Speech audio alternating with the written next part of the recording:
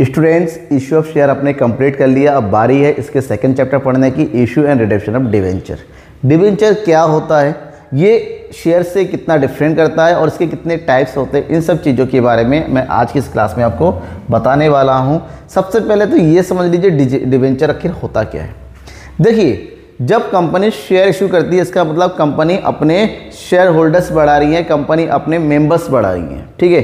तो जब कंपनी के पास इतने शेयर होल्डर्स हो जाते हैं कि प्रॉपर कैपिटल उनके पास इनफ है, लेकिन उसके बावजूद भी उनको अपने कंपनी को चलाने के लिए फंड की ज़रूरत होती है, लेकिन वो अपना शेयर होल्डर्स वो अपने ओनरशिप को नहीं बांटना चाहते हैं। तो ऐसे में दो तरीका है। या तो वो पर्टिकुलर किसी इंस्टीट्यूशन से या यानी कि बैंक से या भी फाइनेंशियल इंस्टीट्यूट से लोन ले। लेकिन लोन लेने से होता क्या कि बड़ा अमाउंट होता है। अगर वो बैंक से लोन लेंगे तो बैंक का थोड़ा बहुत इंटरफेरेंस बढ़ जाता है। भाई इंटरेस्ट कब दरोगे, ये, वो, तमाम। तो वो कंपनी क्या करती है ना, जो पब्लिक कंपनी होती है, जो लिस्टेड कंपनी होती है, वो पब्लिक से ही लोन लेना चाहती हैं। अब पब्लिक से जब लोन लेंगी, जिस तरह से शेयर इशू किया जाता है पब्लिक के बीच में, भाई हम शेयर इशू कर रहे हैं, जिसको खरीदना है, खरीद लो, बदले में पेमेंट करो। कोई सौ शेयर लेता है, कोई दस लेता है, कोई हज़ार लेता है, कोई पाँच सौ लेता है, कोई पाँच हज़ार लेता है अलग अलग उसी तरीके से डिवेंचर भी पब्लिक में इशू किया जाता है। बस डिफरेंस ये है कि पब शेयर इशू करने से ओनरशिप दिया जाता है, जबकि डिवेंचर इशू इशू किया जाता है एज ए डेप्ट ये एज अ लोन होता है कि भाई हमसे डिवेंचर ले लो, आप हमें पैसा दे दो, बदले में हम आपको एक फिक्स अमाउंट में इंटरेस्ट पे करेंगे. और दूसरी सबसे खास बात यह है कि एक फिक्स टाइम के बाद रिटर्न भी कर देंगे. ये डिवेंचर होता है कि डिवेंचर एक लॉन्ग टर्म लोन होता है. ये ठीक वैसा ही है जैसे बैंक से लोन लिया जाता है, लेकिन फ़र्क बस इतना है बैंक केवल एक एक बैंक ही पैसे दे देता है। यहाँ पर पब्लिक बहुत सारे पब्लिक मिलके थोड़े थोड़ा कंट्रीब्यूट कंपनी को करती हैं, बदले में उनको डिवेंचर का सर्टिफिकेट मिल जाता है। तो अब ये है क्या डिवेंचर डिवेंचर जो वर्ड होता है, अगर हम बात करते हैं, ये एक लैटिन वर्ड है। कैसा वर्ड है? लैटिन वर्ड है। लैटिन वर्ड होने का मतलब होता है कि डिवेंचर वर्ड आया हुआ है डिवेर से। और डिवेर का मतलब होता है टू बारो बारो का मतलब होता है, हिंदी में बोलते हैं इसको क्या करना? उधार लेना। ठीक है ना? यूँ कहे, कर्ज लेना। दूसरे लग में ना लोन लेना। ठीक है? तो ऐसे में डिवेंचर एक टाइप का लोन है, जो किसी पार्टिकुलर इंस्टीट्यूशन से ना लेके पब्लिक से लिया जाता है ओपन मार्केट से लिया जाता है। Debenture is a return instrument एक रिटर्न इंस्ट्रूमेंट है, एक एक्नॉलेजमेंट है adapt under the common seal of company company के कॉमन सील में, कि यहाँ पर जब पब्लिक से लोन लिया जा रहा है, उनकी प्रॉपर एक सर्टिफिकेट दिया जाता है कि भाई आपको, आप इतना लो, आप इतना पेमेंट दे रहे हैं, बदले में आपको इतना डिवेंचर मिल रहा है, ये सर्टिफिकेट है, इतना रिटर्न मिलेगा आपको, इतने टाइम के बाद आपका पैसा वापस मिलेगा। प्रॉपर उस सर्टिफिकेट में लिखा हुआ होता है, एक रिटर्न वैलिड डॉक्यूमेंट होता है, जिसकी बेस में पब्लिक उनको लोन देती हैं, अपने पैसे कंपनी में देती हैं। It consent a contract it contains a contract for repayment इसमें प्रॉपर वे में पैसा कब रिटर्न करना है, वो लिखा रहता है, और principal after a specific period of time कि कितने समय के बाद पीरियड एट अ इंटरवल और the option of the company for repayment of interest at a fix rate और साथ ही साथ उसमें क्लियरली ये बताया जाता है कि डिवेंचर के बदले में आपको कितना परसेंट का इंटरेस्ट क्योंकि जब डिवेंचर इशू किया जाता है, उसी से पहले टेन परसेंट डिवेंचर है या नाइन परसेंट डिवेंचर है, ये प्रॉपर वे में मेंशन होता है। तो डिवेंचर के आगे जो परसेंटेज लगाया जाता है, इसका मतलब होता है उस डिवेंचर के ऊपर उतना ही रेट ऑफ़ इंटरेस्ट दिया जाएगा। ये पहले से ही प्रोस्पेक्टस में एग्रीमेंट में, यानी कि कॉन्ट्रैक्ट में लिखा हुआ रहता है। और ये इंटरेस्ट या तो हाफ़ ईयरली पेमेंट होता है या लो या तो ईयरली पेमेंट होता है। डिपेंड करता है कि कॉन्ट्रैक्ट में, उस सर्टिफिकेट में क्या लिखा हुआ, किस हिसाब से कंपनी का एग्रीमेंट है। तो according to the section two point number 30 of the Company Act 2013, debenture include debenture, inventory, bonds, and any the securities of a company, whether out, uh, uh, constituting a charge on the assets of the company or not. Debenture में वो सब कुछ include करता है जब company किसी से बारो करती है, चाहे वो डिवेंचर इन्वेंट्री के रूप में हो, चाहे वो बॉन्ड के रूप में हो वेदर उसके बदले में उन्होंने कोई सिक्योरिटी रखा हो या नहीं रखा हो, लेकिन अगर एज टाइप का लोन है तो वो डिवेंचर की कैटेगरी में आ जाता है। अब बात आती है बॉन्ड क्या होता है। डिवेंचर को समझ लिया बॉन्ड आज के टाइम में बॉन्ड एंड डिवेंचर दोनों ही सेम चीज़ है but bond is also an instrument to acknowledgement of the डेप्ट ये भी एक तरह का डेप्ट है जिस बॉन्ड इशू के बदले में यहाँ पर भी पैसे लिया जाता है. Traditionally the government issued bonds लेकिन पहले गवर्नमेंट इशू करती थी. आज भी गवर्नमेंट करती हैं. गवर्नमेंट करती थी जब गवर्नमेंट को पैसे की ज़रूरत होती थी. लेकिन आज के टाइम में बेसिकली ये जो है सेमी गवर्नमेंट है, कोई भी नॉन गवर्नमेंट इंस्टीट्यूशन भी इशू करते हैं। कि बैंक बैंक भी हो गया कंपनी हो गया, ये लोग भी इशू करते हैं। लेकिन आज के टाइम में चाहे हम डिवेंचर की बात करते हैं, चाहे बॉन्ड की बात करते हैं, दोनों ही एक ही सेंस से, एक ही मीनिंग में लिया जाता है। दोनों ही एक तरीका लॉन्ग टर्म डेप्ट का एक इंस्ट्रूमेंट होता है, जिसके थ्रू कंपनी क्या करती हैं? बारो करती है, उधार लेती है। ठीक है? समझ में आ गया? डिवेंचर क्या होता है? थोड़ा सा और आगे बढ़ते हैं। Now the types of debenture debenture के टाइप्स डिवेंचर के डिवेंचर एक लॉन्ग टर्म डेप्ट है। डिवेंचर पर एक फिक्स रेट ऑफ़ इंटरेस्ट दिया जाता है और डिवेंचर में क्लियरली मेंशन होता है कि उसका रीपेमेंट कब होगा? वो पीरियड क्लियरली मेंशन होता है। ठीक है? अब हमें ये पता होना होगा डिवेंचर जब इशू किया जाता है, उसके टाइप्स भी होते हैं क्या? बिल्कुल। डिवेंचर के बेसिकली कई सारे टाइप्स होते हैं, उसको अलग अलग बेसिस में बांटा गया है। सबसे पहला बेसिस है यहाँ पर from the point of view of security security के बेस पे। क्योंकि डिवेंचर क्या किसी बेसिक सिक्योरिटी क्योंकि आप अगर लोन लेंगे तो बैंक वाले कहते हैं, ठीक है, आपको लोन देंगे, बदले में सिक्योरिटी दो। लेकिन कंपनी आपसे लोन ले रही है तो कंपनी क्या आपको कोई सिक्योरिटी दे रही है? तो इस सिक्योरिटी के बेस पे डिवेंचर को दो कैटेगरी में बांटा गया एक है सिक्योर डिवेंचर दूसरा होता है अनसेक्योर्ड या naked debenture secure debenture is the debenture where a charge is created on the assets of the company for a purpose of payment in case of default ये वो डिवेंचर होता है जिसके ऊपर कंपनी पार्टिकुलर एसेट्स को collateral रखती है, assets को एज ए सिक्योरिटी रखती है कि बाई चांस कंपनी की डिफ़ॉल्ट हो जाती है। कंपनी अगर पेमेंट करने में फेल हो जाती है, उनके पास प्रॉपर पैसे नहीं हो पाते हैं तो उस केस में जो उसकी सिक्योरिटी जो एसेट्स होता है, उसको बेच के उसके थ्रू उस पेमेंट को रिप के वसूल किया जाएगा, इसको सिक्योर डिवेंचर के नाम से जाना था इसका मतलब पार्टिकुलर डिवेंचर के बदले में एक पार्टिकुलर एसेट्स को उसके पीछे एज ए सिक्योरिटी रखा जाता है। ठीक है?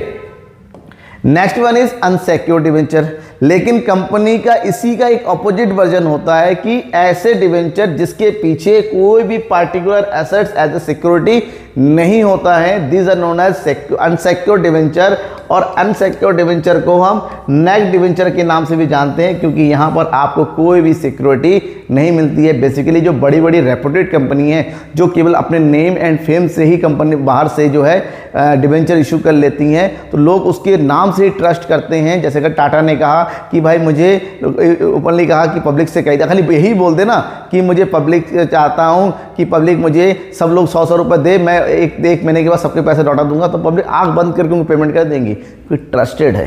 तो बेसिकली इसका यूज़ ट्रस्टेड कंपनी करती है, जो बेसिकली कोई भी सिक्योरिटी नहीं रखती है।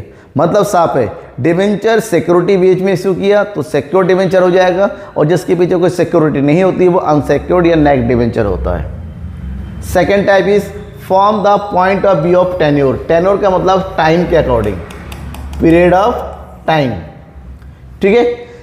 अगर हम पीरियड ऑफ़ टाइम की बात करते हैं, यानी कि रिडप्शन की बात करते हैं, हमें, मैंने अभी पहले ही कहा था डिवेंचर एक पार्टिकुलर पीरियड के टाइम वापस किया जाता है। क्लियरली मेंशन है।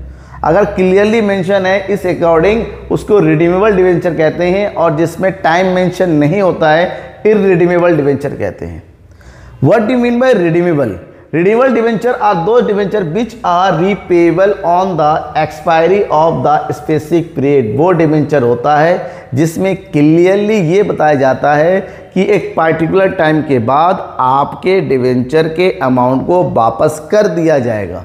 एक स्पेसिफिक टाइप फिक्स होता है कि इतने टाइम पाँच साल के बाद, दस साल के बाद, पंद्रह साल के बाद amount of debenture will be return लेकिन अगर इस तरह का कोई भी स्पेसिफिक टाइम आपके डिवेंचर में मेंशन नहीं है तो उसको बोलते हैं irredeemable debenture irredeemable debenture are also known as proposal debenture because the company does not give any undertaking of the repayment of the money यहाँ पर कंपनी रीपेमेंट के लिए कोई भी टाइम मेंशन नहीं करती है। हो सकता है जब तक कंपनी रहे, तब कंपनी के पास वो पैसा रहे। हो सकता है टाइम पर्टिकुलर टाइम के बाद कंपनी उसको वापस कर दे, लेकिन डिवेंचर के कॉन्ट्रैक्ट में टाइम मेंशन नहीं होता है। सो इसको इरिन्यूएबल डिवेंचर के नाम से जाना जाता है। Next one is according to the convertibility convert मतलब बदलना। कुछ डिवेंचर को दूसरे फॉर्म में कन्वर्ट किया जाता है और कुछ को नहीं किया जाता है। जिसको कन्वर्ट किया जा सकता है, उसको बोलते हैं कन्वर्टिबल डिवेंचर और जिसको कन्वर्ट नहीं किया जा सकता, उसको बोलते हैं non convertible debenture so the debenture those can convert into the shares ऐसे डिवेंचर जिसको शेयर में कन्वर्ट किया जा सकता है, किसमें? इक्विटी शेयर में कन्वर्ट किया जा सकता है, क्योंकि कभी कभी क्या होता है, यार कंपनी कहती है, पैसे वापस क्या दूँ आपको? मुझे पैसे वापस नहीं करने, एक काम करते हैं, आपके शेयर को हम आपके इस डिवेंचर को हम शेयर में कन्वर्ट कर देते हैं। जो चाहता है कन्वर्ट करेगा, जो नहीं चाहता, नहीं करेगा। लेकिन अगर ये ऑप्शन है कि डिवेंचर को शेयर में कन्वर्ट किया जा सकता है तो उनको कन्वर्टेबल डिवेंचर के नाम से जानते हैं, लेकिन कुछ डिवेंचर ऐसे भी होते हैं those can not be converted into share जिनको शेयर में कन्वर्ट नहीं किया जा सकता है, उसको हम नॉन कन्वर्टेबल डिवेंचर के नाम से जानते हैं। Next one is from coupon rate point of view coupon rate point of view मतलब according to the rate of interest जैसा कि मैंने बताया, शुरुआत में ही डिवेंचर की सबसे बड़ी खासियत है डिवेंचर के लिए रेट ऑफ़ इंटरेस्ट का पहले से फिक्स होना ज़रूरी है। जहाँ फिक्स होता है कभी कभी नहीं भी होता है। तो ऐसे में इसके दो टाइप्स है स्पेसिफिक कूपन रेट डिवेंचर और ज़ीरो कूपन रेट डिवेंचर जब कंपनी डिवेंचर इशू करती है, अगर issue be the specific rate of interest उसमें clearly rate of interest mention किया जाता है कि इतने रेट ऑफ़ इंटरेस्ट का, का डिवेंचर है तो उसको हम जो है स्पेसिफिक कूपन रेट डिवेंचर बोलते हैं। क्योंकि हमारे पास ऑलरेडी एक फिक्स जो है रेट ऑफ़ इंटरेस्ट दिया दिया जाता है। लेकिन कुछ डिवेंचर ऐसे भी होते हैं which do not carry a specific rate जिसमें कोई भी रेट ऑफ़ इंटरेस्ट मेंशन नहीं होता है। कंपनी अपने मन मुताबिक इंटरेस्ट बाद में पे करती है। इंटरेस्ट तो पे करना ही है, लेकिन रेट ऑफ़ इंटरेस्ट फिक्स नहीं होता है।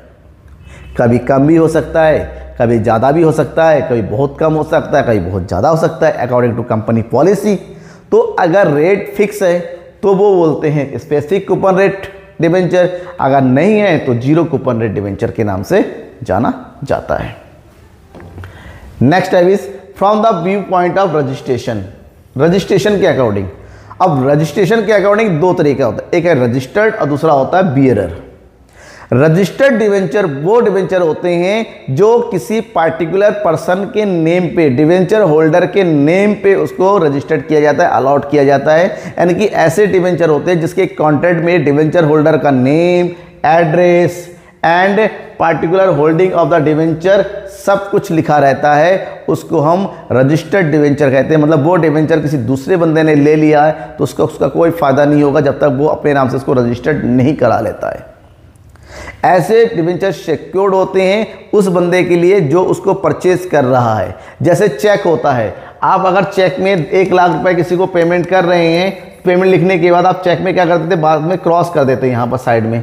क्रॉस करने का मतलब होता है भाई ये पेमेंट उसी को मिलेगा जिसके नाम पे ये चेक दिया गया है और उसी के अकाउंट में पैसा आता है। लेकिन कुछ डिवेंचर ऐसे भी होते हैं जिस पर कोई भी नेम वगैरह इंक्लूड नहीं होता है, यानी कि जिसके पास वो कॉन्टैक्ट होगा डिवेंचर उसी का होगा, जिसको हम बियर डिवेंचर के नाम से जानते हैं। यहाँ पर किसी भी तरह का नेम एड्रेस मेंशन नहीं होता है मतलब जिसके पास डिवेंचर होगा, उसी का वो बन जाएगा।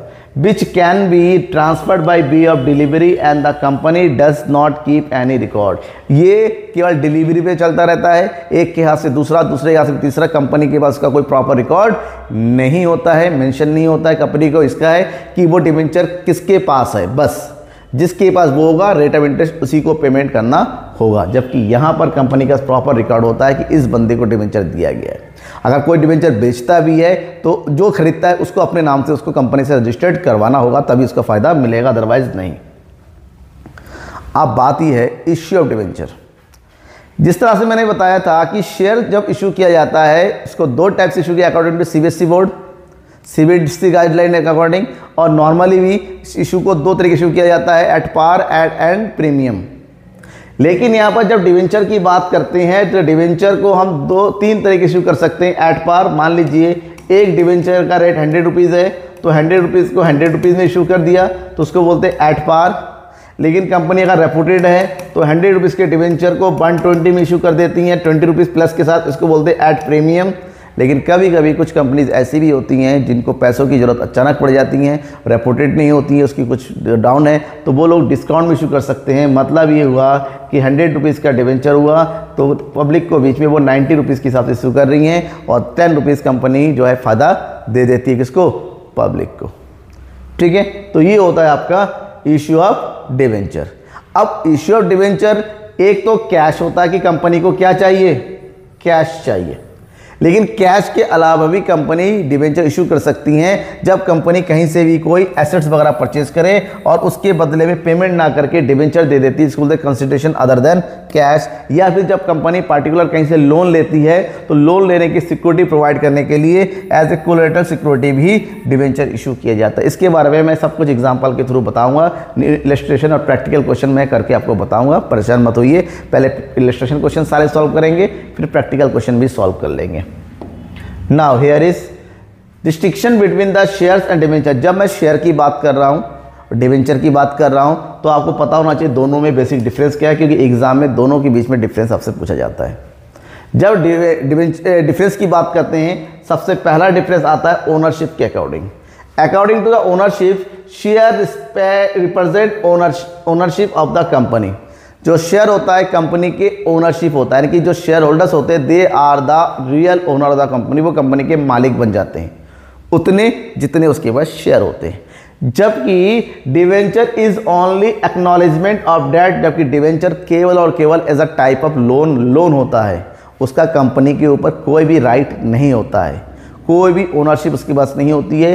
वो एज अ वो होता है लेंडर होता है कि वो केवल लोन देने वाला होता है राइट रिटर्न। बदले में क्या मिलता है?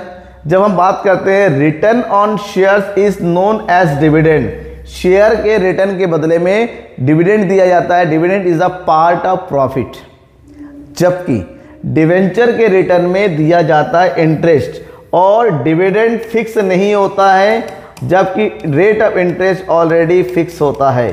दूसरी बात ये हुआ, जब कंपनी को प्रॉफिट होगा तभी डिविडेंड दिया जाता है, जबकि इंटरेस्ट प्रॉफिट हो या ना हो, कोई फ़र्क नहीं पड़ता है। अगर इंटरेस्ट फिक्स है तो फिक्स रेट ऑफ़ इंटरेस्ट आपको देना पड़ेगा तो पड़ेगा हर हाल में। आप इंटरेस्ट को डिनाई नहीं कर सकते, जबकि कंपनी डिविडेंड को अपने हिसाब से डिनाई कर सकती हैं।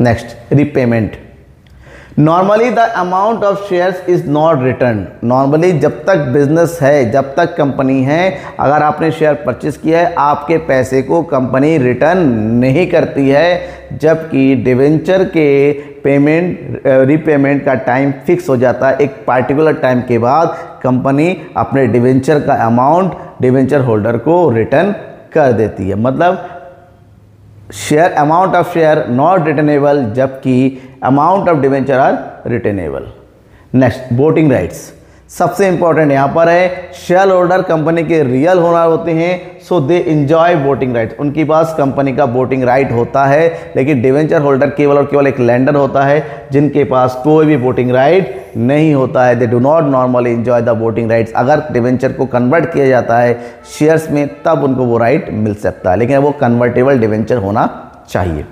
Security shares are not secured by any charge. सबसे इंपॉर्टेंट ये ध्यान में रखना है कि आप शेयर तो खरीद रहे हो, ये आपका रिस्क है शेयर रिस्क होता है। ये इसके पीछे कोई भी ये नहीं कह सकते, मैं शेयर खरीद रहा हूँ कंपनी के डूबने पर मुझे पैसा वापस मिलना है तो नहीं मिलेगा। क्योंकि शेयर को कोई भी सिक्योरिटी नहीं दी जाती है but in other sense the debentures are secured by a proper security और एसेट्स ऑफ़ द कंपनी जबकि डिवेंचर को प्रॉपर सिक्योरिटी दी जाती है कंपनी के थ्रू मतलब डिवेंचर का पैसा डूबेगा तो आपको पैसा कुछ ना कुछ मिलेगा. Convertible shares can not be converted into debenture share को डिवेंचर में कन्वर्ट नहीं किया जा सकता बट अदर हैंड डिवेंचर को शेयर में कन्वर्टेड किया जा सकता है. तो ये रहा आपका डिवेंचर शेयर डिवेंचर के difference type of debenture issue of debenture and also the meaning of debenture इसके जस्ट बाद वाले वीडियो में हम जो है इलेस्ट्रेशन क्वेश्चन सॉल्व करना शुरू करेंगे। आपकी बुक में सॉल्यूशन भी दे रखा होगा, मैं आपको इसके एक्सप्लेन करूँगा, ठीक है? तब तक ले। अब ध्यान में ये रखना है कि एनसीईआरटी सॉल्यूशन आपको कहाँ मिलता है? जितने भी एनसीईआरटी बुक के, जो कि कोई भी कंटेंट में सब एनसीईआरटी बुक के अकॉर्डिंग आपको बता रहा हूँ एनसीईआरटी बुक का कंटेंट आपको केवल एक ही चैनल पर मिलेगा the economics group that is the king of NCERT solution okay तो शेयर करिए अपने के दोस्तों के बीच में जो भी एनसीआरटी बुक को प्रिपेयर करते हैं। क्योंकि एनसीआरटी बुक का सॉल्यूशन केवल और केवल आपको यहाँ मिलेगा। वो भी केवल और केवल प्रैक्टिकल क्वेश्चन नहीं यहाँ पर आपको थ्योरी भी मिलेगा। आपको यहाँ पर इलस्ट्रेशन भी मिलेगा। साथ ही साथ आपको यहाँ पर प्रैक्टिकल भी मिलेगा। और सब कुछ होने के बाद लास्ट में आपको सैंपल पेपर भी मैं प्रोवाइड करूँगा फ्री ऑफ़ कॉस्ट तब तक लिए थैंक यू एंड बाय